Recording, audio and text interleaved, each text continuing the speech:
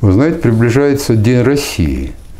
Ранее, честно говоря, такой, ну, наверное, не самый известный праздник в России, прямо скажем. Потому что он когда создавался, там всякие сомнения. Жила, жила, была жива память о Советском Союзе, вот, о могучем государстве. Как народ относился к этому, ну, не очень доброжелательно, прямо скажем, я, если говорить о всех людях. Вот. Но вот проходит же время, и вот что мы сегодня видим? Россия, в общем-то, официальный правоприемник Советского Союза, хотя не такой, конечно, могучий, как Советский Союз. Но Россия в конце, в конце концов осознала, что как бы западный мир и наши заокеанские соседи, они всю жизнь всегда были заточены антиславянские, антироссийские. И набрав разбег на ликвидации Советского Союза, не без их помощи все это произошло. Они не смогли как бы остановиться, чуть-чуть там, может, притормозили, и мы там э, в поклон им пошли, и они все дожидались, когда с их помощью, и гласной, и негласной, через вся, всякие либеральные подходы в экономике, антипатриотические в их истории – культуре и так далее, и мы все-таки рухнем на несколько государств, еще, может быть, расколемся. И в этой ситуации готовили даже вот против нас, наших же братьев украинцев, славян, перековали на антироссийские рельсы, практически перековали, возродив даже то э, националистическое движение бандеровское, укрепив его не только там морально, но и реально, оружием, отряда и так далее. Вот.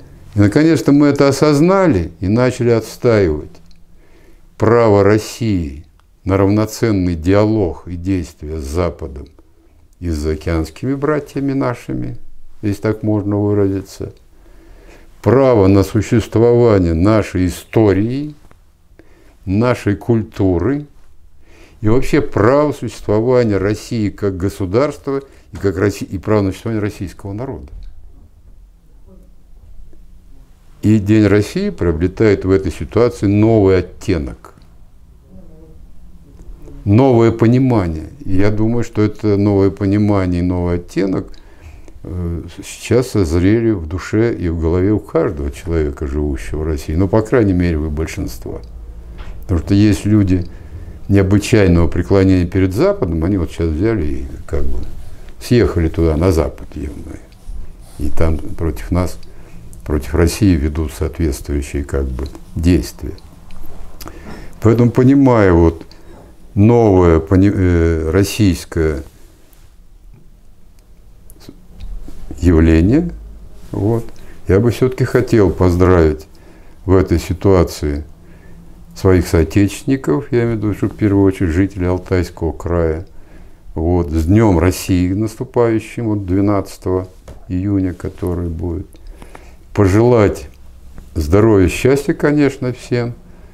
Вот, и все-таки укрепление понимания, что Россия должна стать настоящим, могучим государством, в которое верит его народ, то есть все люди – вот, и которая укрепляется в первую очередь за счет доверия этого народа. Правда, предстоит немного сделать теперь в этой ситуации с точки зрения внутренних действий в России для укрепления доверия еще вот экономическими действиями. То есть с праздником, друзья, здоровья, счастья и веры в Россию –